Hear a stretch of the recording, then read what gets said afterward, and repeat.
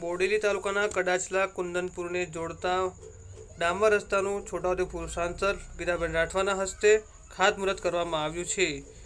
છેલ્લા કેટલાક વર્ષોથી કડાચલા કુંદનપુરને જોડતા ડામર રસ્તાની માંગણી સરકારમાં પૂર્વ જિલ્લા પંચાયત સદસ્ય અને પ્રદેશ કારોબારી સભ્ય બિલજીભાઈ ભીલ સહિત ગ્રામજનોની હતી. જે માંગણીને સરકારે પૂર્ણ કરી છે.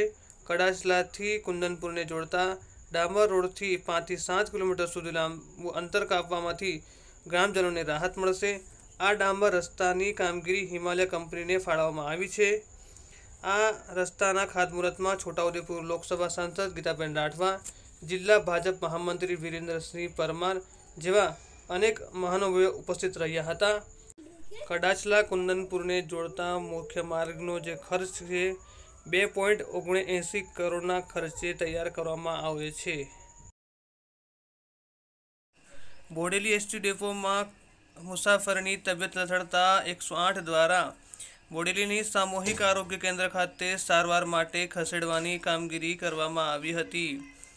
બોડેલી તાલુકાના રુસ્તમપુરા ગામના રહેવાસી કચ્છ ગામે મજૂરી અર્થે જવા નીકળેલા બોડેલી એસટી ડેપોમાં પહોંચ્યા હતા. એકાએક તેઓના ઉલટી અને લોહીની ઉલટી થવાના કારણે તેઓને ડેપો કર્મચારી દ્વારા એકસો આઠને જાણ કરવામાં આવી હતી. ત્યારબાદ એકસો આઠ દ્વારા બોડેલીની સામૂહિક આરોગ્ય કેન્દ્ર ખાતે ખસેડાયા હતા. ત્યારબાદ તેઓને સારવાર આપવામાં આવી હતી. આજ રોજ બોડેલી પોલીસ દ્વારા બોડેલીના વિવિધ રસ્તા ઉપર કાર્ડ ચેકિંગ હાથ ધરવામાં આવ્યું હતું.